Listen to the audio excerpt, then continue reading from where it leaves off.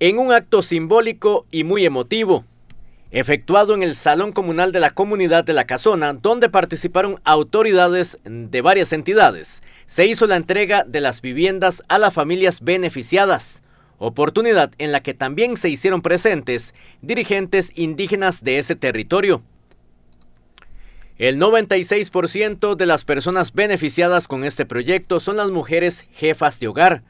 La totalidad de las familias viven en situación de extrema necesidad y recibieron un terreno por parte de la Asociación de Desarrollo Indígena de Cotobruz.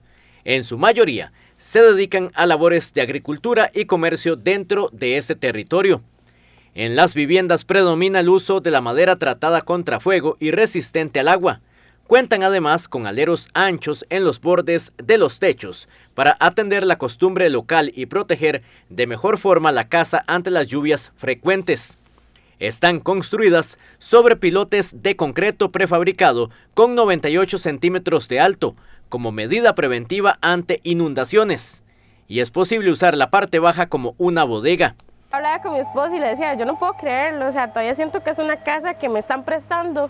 Él me decía, no, no, tranquila, dice su casa, usted siéntese segura. Para el Banco Popular y Desarrollo Comunal, lo que buscamos es que haya bienestar para los costarricenses en tiempos difíciles para todos. Todas las casas cumplen con las especificaciones de calidad y seguridad regulados en el país y en las que están localizadas en lugares de difícil acceso, por lo que el Bambi aprobó la instalación de un panel solar para garantizar iluminación en las noches y el uso de utensilios de cocina, radio o televisión.